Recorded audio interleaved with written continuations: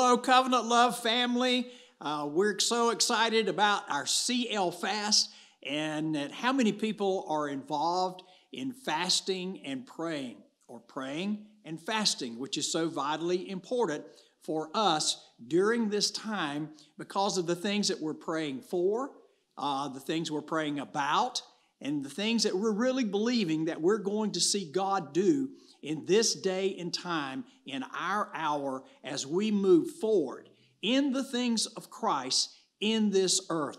I'm excited because I know the Lord's return is at hand.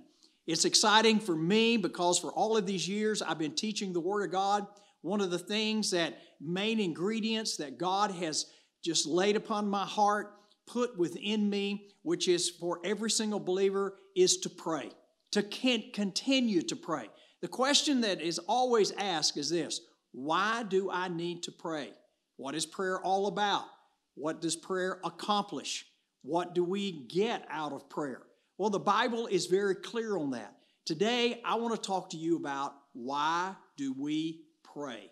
Why do we pray? If you don't pray, number one, you're not going to receive the things that God has already provided for us in His promises and in His words. That's the reason prayer is so important. To ask somebody and say, Why do I pray? would be the same thing of asking, Why did Jesus pray? Why did the apostles pray? Why did the disciples pray? They prayed because they understood the authority that God gives to us and has given to us when we pray.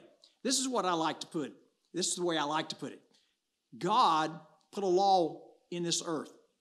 It started in the book of Genesis. And the law was actually the law of the human being, which means the law of human beings. You say, now, Pastor, what in the world are you talking about? A law of the human beings. And that is this that God gave authority to man, to mankind. That means men and women. And what he would do in this earth, even though he's sovereign, he made a sovereign choice. He gave authority to man. And man was to rule and to reign in this earth under the obedience and in submission to God and to God's word. God would share with Adam and Eve, talk to them, He would reveal Himself to them, but He would also give them the word. And then they were to carry out that word. And as they carried out that word, spoke that word, prayed, which is communication, basically speaking to God or speaking to anything in this earth concerning that word, God would always back it up. But the thing about prayer is this God said that whatever you have need of, I want you to come to me in prayer because prayer is total dependence upon God. 100%.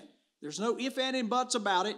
It is 100% total dependence upon God. I want you to listen to this concerning the law that I said, the law of the human being. Listen to uh, Psalms, the eighth chapter, verse 3. It says, When I consider the heaven, your heavens and the work of your fingers, that's everything God created, the moon and the stars which you have ordained, what is man that you are mindful of him, and the Son of Man that you visit him? Listen to verse 5. You have made him a little lower than the angels. Now, when you look that up in the Hebrew, that word is Elohim. It means that you have made him lower, just a little lower than God. So then it says, and you have crowned him with glory and honor.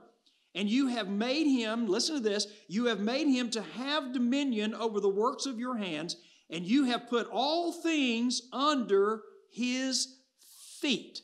All things. In other words, you and I have authority. So we are to reign and rule in this life. Now we know sin came in, Adam disobeyed God. So who was ruling and reigning? The devil was ruling and reigning, which means death was ruling and reigning, sin was ruling and reigning. But then Jesus Christ came, and when Jesus came, he gave us back our authority. Listen to Romans, the fifth chapter, verse 17. For if by one man's offense, that was Adam, death reigned, notice death, and who has the power of death, the Bible tells us? The devil. Death reigned through the one, much more those who receive the abundance of grace and the gift of righteousness will reign in life through the one Jesus Christ. Now, how do we reign in life through Jesus Christ? It is through prayer. It is praying the Word of God. It is us praying in conjunction with and in agreement with God's promises. When we see something that is not right on this earth, when we see something that is out of order in our own lives or in the lives of our family or in the lives of our nation or wherever it may be, even all over the world, you and I have the power to see God bring a, to see God intervene with a divine intervention with his power that can change something that would not have been changed unless somebody prayed. That's the key. That's the key. And we see that all the time. Listen, God is the one who's given us the law of prayer. We are to rule and reign through that. Let me give you an example. Nothing, all through the Bible, Old Testament, New, New Testament, God is sovereign. God made a sovereign choice. And when man intervenes and man asks God for what he has promised, what he has said, what he has prophesied, then God will intervene. God then will move forward with his power and begin to work things out on our behalf that we pray in accordance to his will. Let me give you an example of this because unless you pray, unless we pray, we're not going to see anything. We sit around, murmur, and complain all the time, but we're not to murmur and complain, we're to pray. Listen to Ezekiel, the 36th chapter, verse 36 and 37. Now, every verse up to this, God has said, This is what I'm going to do for Israel. I will do this, this, this, this, and this, and this, and this. And then he makes this incredible statement The nations which are left all around you shall know that I, the Lord, have rebuilt the ruined places, planted what was desolate, and I, the Lord, have spoken it, and I will do it. Now, listen next statement. Now, if God says, Well, I'll do it, then that's it. No, uh. Thus saith the Lord, I will also let the house of Israel inquire of me to do this for them, and I will increase their men like a flock.